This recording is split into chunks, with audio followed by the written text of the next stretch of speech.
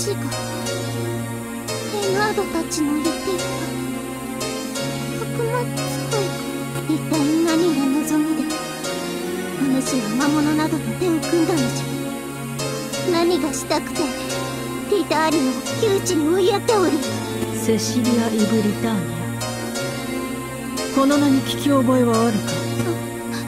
どうしてお主がその名を知っておるのじゃ。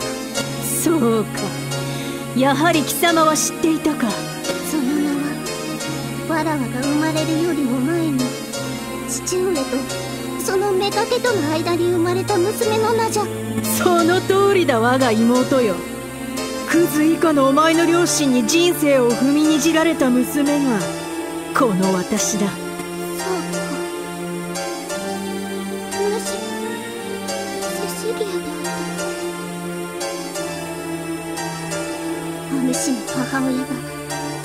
代の女王に殺されたことは知っておる。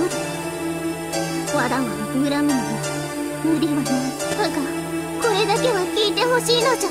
セシリアいや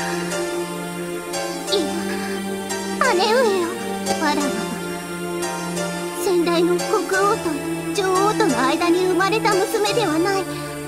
表沙汰にはなっておらぬが先代の女王はあの事件によって秘密裏に王国から追放されたのじゃ。そして国王と東映にあたる貴族の家に生まれたばかりの我らは急遽幼女として迎えられることになった。表向きには女王がわらわを産んだ直後に死亡したことになっておるがなだから真に父上の血を引いておるのは姉上の方なのじゃ。正当な王位継承権はわらわではなく姉上の方にある。姉上が望むのならわらわは王位を退いてもよい。だから命だけは助けてくれたそうではない。わらわはどうなっても構わぬ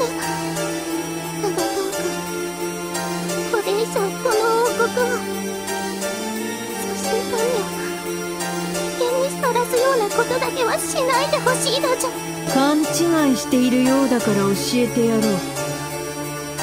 私はお前や王国への復讐などもののついで程度にしか考えていないのだよ。私が悪魔使いの力を習得した当初は。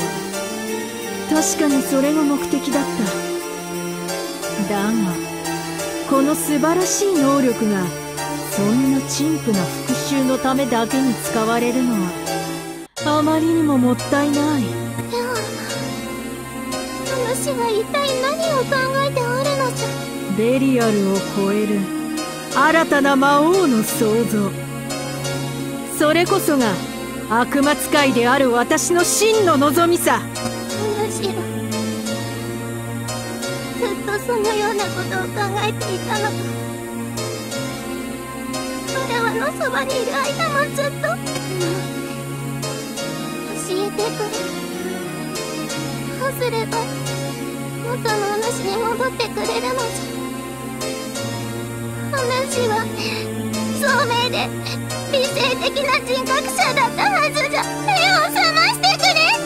サラ。サラ。などという人間は元よりどこにもいなかったのだ妹よお前が信じていた側近は幻だったの。